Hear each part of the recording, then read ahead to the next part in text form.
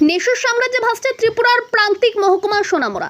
যেন শুধু ঘরে ঘরে হেরোইন ব্রাউন সুগার ইয়াভা ইঞ্জেকশনের মতো নেশার সেবনকারী জন্ম হচ্ছে না। সঙ্গে নেশার সামগ্রী পাচার কাজে যুক্ত হয়ে পড়ছে ঘরের মহিলারাও।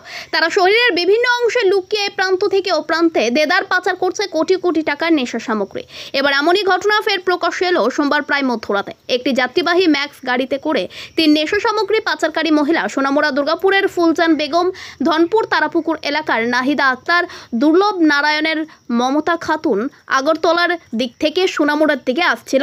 মেলাঘর থানার সামনে থাকা নাকা পয়েন্টে পুলিশ দেখে নাকার কিছুটা আগে গাড়ি থেকে নেমে যায়। এই খবরের ভিত্তিতে পুলিশ তাদের পিছু ধাওয়া করে, তাদেরকে আটক করতে সক্ষম হয়। মেলাঘর থানার ওসি দেবাশিস শাহ জানিয়েছেন, তাদের পরনের বোরখায় লোকানো অবস্থায় চৌত্রিশটি সাবানের বাক্সে থাকা প্রায় চারশো গ্রাম ব্রাউন সুগার উদ্ধার হয়, যার আনুমানিক বাজার মূল্য পনেরো লক্ষ টাকা।